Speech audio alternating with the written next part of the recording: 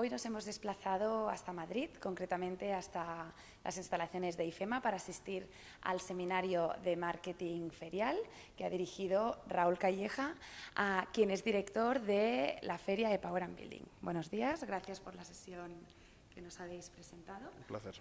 Primero de todo, queríamos ah, preguntarte qué expectativas hay sobre ah, esta acogida que habrá en la feria por primera vez Mm. de un área BIM, la BIM Expo, y qué tipo de perfiles creéis que se acercarán hasta, Mm. hasta esta sección.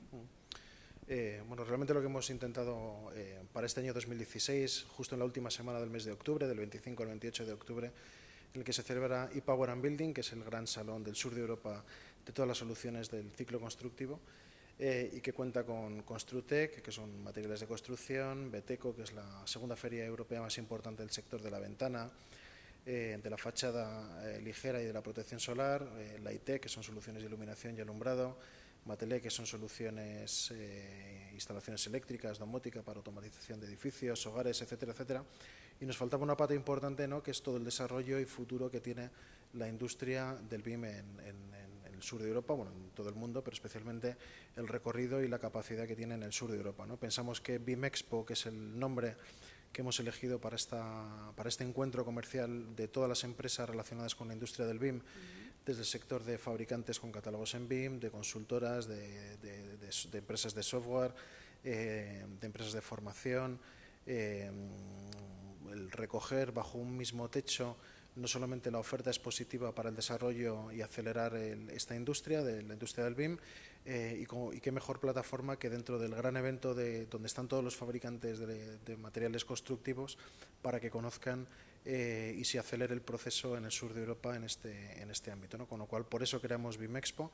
Eh, el conjunto de todos los eventos de Power and Building contará con la presencia de unas 1.200 empresas eh, participantes y unos 65.000 profesionales de, de- de más de 80 países, que fueron las cifras de la última edición, eh, y con, realmente con sensaciones positivas, en, en las cuales dentro de BIM Expo no solamente habrá ofertas positivas, sino también mucha jornada técnica, con una convocatoria muy interesante a arquitectos, a profesionales de la industria del BIM, a fabricantes que necesitan bimetizar todos sus productos para poder estar posicionados en la industria y que los proyectistas, arquitectos puedan tra- trabajar con sus catálogos en, BIM, con lo cual yo creo que es una- un, proceso que acelerará y contribuirá a acelerar la, la implantación de la industria del BIM en nuestro país.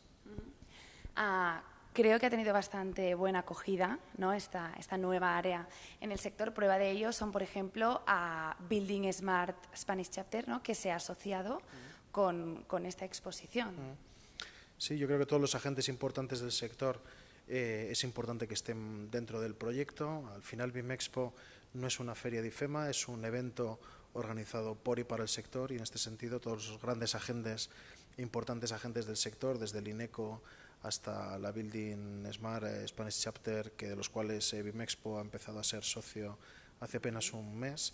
Eh, y es una herramienta, una fórmula para poder estar conjuntamente con el sector, aprendiendo de ellos y, desarrollar la mejor plataforma eh, posible para, para desarrollar la industria del BIM. ¿no? Yo creo que dentro de BIM Expo contaremos aproximadamente con, un- con unas 100 empresas expositoras. eh, trabajamos conjuntamente con Bimética también para desarrollar el proyecto de jornadas técnicas.